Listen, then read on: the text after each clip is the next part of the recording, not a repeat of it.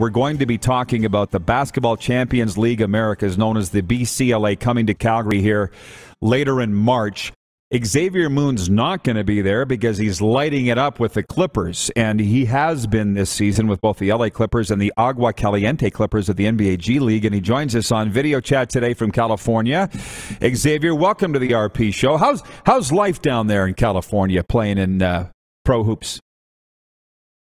Life is great. Uh, the weather is great. Um, so I'm just enjoying it all. Good for you. Hey, we got a lot to go through with you. And by the way, uh, your good friend Lee Genier is sitting here with us at Grey Eagle Resort and Casino watching the program. He said to say hi. Before we get to this Clippers excursion with LA and the G League, let's talk about your time in the CEBL if you don't mind. Three years the league's been in existence. You were the MVP three straight years and capped it off with the championship. How do you look back at your time in Edmonton? Uh, it's been great. Like you said, we were winning. Uh, I won the MVP all three years, back to back championship. Uh, the bonds I made with my teammates, the, the coaching staff, um, and just the, the professionalism of the league, um, it's been top tier uh, since my first year. Well, and the thing is, uh, you're from Goodwater, Alabama. And so you're a long ways from home. And we should talk about the fact that you came, I'm just looking at your college, Northwest Florida State and Morehead State. Lee was telling me that early on in Edmonton that you got hurt and you got released and you're like, I'm not taking no for an answer. I'm coming back. This is how bad you wanted to make it in this game of pro basketball. Can you talk about that injury and how you got back to prominence with the Stingers?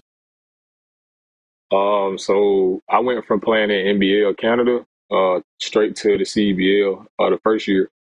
Um, like in the third game, I had a stress fracture in my foot, and so they they told me that I could go home. So when I went home, um, I was actually not supposed to be playing, but I was. Um, so a lot of people was hitting me up, asking me was I coming back, and I was like, I don't know. Um, and then Small, I mean uh, Barnaby uh, Craddock stepped down, Small took over, and then he called me and was like he wanted me to come back. Um, and I was like, well, once I get healthy and once the doctor clears me, then I'll come back. And the rest is history.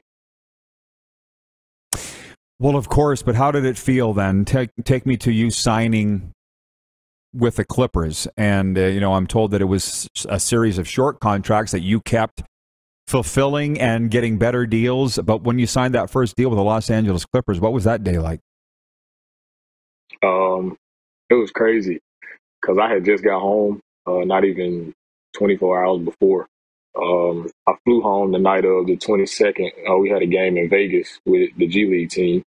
Um, I had a red eye flight home. Um, I got home the, the, morning of the 23rd around 8.15, 8.30. Um, and then I got the call from the Clippers uh, Christmas Eve at like 9.30, 10 o'clock as I was heading home. Uh, I was driving home at the time. So I got the call from the president um, and I kind of speeded home a little bit so I could tell my family. Um, and then I flew out Christmas morning, and then I played uh, the day after Christmas. Yeah, and you did well in your time up in the Big Show. Talk me, t- tell me about your first NBA game. What was that like? And um, I, I, wasn't nervous at all, uh, but it, it, felt like that's where I needed to be. That's where I was supposed to be. Um, and just to be on that that stage, knowing that I worked so hard to get there, uh, it meant a lot to me.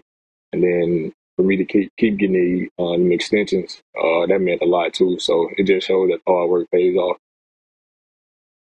Right. So now you're playing with the Agua Caliente Clippers out of Ontario, California. Translation: the Hot Water Clippers, and you guys just played last night. Tell me about that game last night, and uh, what's the road uh, ahead look like for that Clippers team? Um, the game last night wasn't the prettiest, but we got the win, so that's all that matters. Uh, it was a the second game of a back to back. Guys probably tired. Um, it's hard to beat a team twice, especially on the back to back. But uh, we did what we needed to do to get the win, um, and we're actually sitting at the top of the, the league right now, uh, fourteen and six, um, with probably like a little over a month left. Um, so we we come together real real good um, after this break that we had for Christmas. So whether I'm here or not, I, I know the team will have a lot of success. Well, you uh, spoke earlier about the professionalism of the CEBL, and I've gone to the games. I agree. I know all the guys involved, and I love them, close friends of mine. Where would you be, Xavier, without the CEBL? What would be your answer to that question?